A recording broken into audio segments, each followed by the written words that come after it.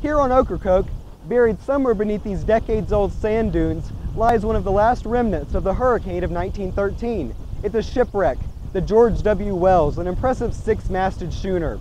The ship was lost on the morning of September 3rd when it faced some of the storm's fiercest winds. It ran aground here on the flooded beach of Ocracoke, and a distress call went out. Rescue crews from both ends of the island responded, in some cases coming here through waist-deep sand and water in the face of the howling winds of the storm. When they arrived that afternoon, they threw a lifeline on board, and over the next few hours, a daring rescue ensued.